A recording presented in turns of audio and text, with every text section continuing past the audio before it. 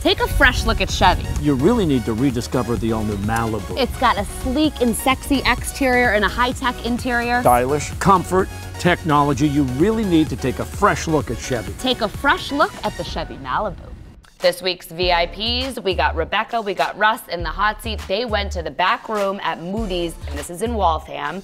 So you guys actually got this item at the Beth Israel Deaconess Needham Gal. That was a fun night. Yeah, it was a lot sure of fun. was. Well, we appreciate you you raising your hand for this. First, tell me a little bit about your dining experience. So, what does the room look like at the Backroom, Russ? You walk in and it's very um, contemporary, but sort of has a uh, late 90s vibe for the most part, I would say. Particularly the music. Yeah. yeah. Oh, okay. So now, why do they call it the Backroom?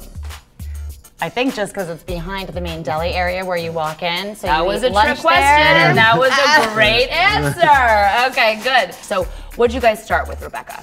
Uh, we got the meatballs. That they're the sort of a little bit of everything meat meatballs, so Nice. you never really know. I think what you're going to get on a daily basis. It was outstanding. We'll go. You'd go for that again if you Absolutely. went back. For sure. Okay. So then, what else did you have? Um, we had a uh, sampling of charcuterie with, um, with there was a coarse pate, a soppressata, a few other cured meats and cheeses.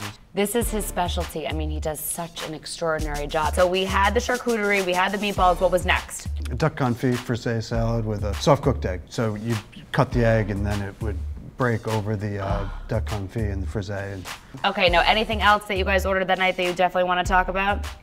I mean, we haven't gotten to the main courses yet. Oh, really? Oh, so you were really eating. We're eaters. You were Yes. really eating. Okay, so If give me a gonna main it, course. What'd do you it. have? I ha- they had a special that night. Okay. So a pork rib in like a sweet and sticky barbecue sauce, kind of falling off the bone. I didn't, I didn't get through all of it because we had already eaten a lot at Well, that point. apparently, yeah. So, but, but it listen, was I'm glad you tried it. How about you, Russ? um, I had braised brisket, we served with broccoli au gratin.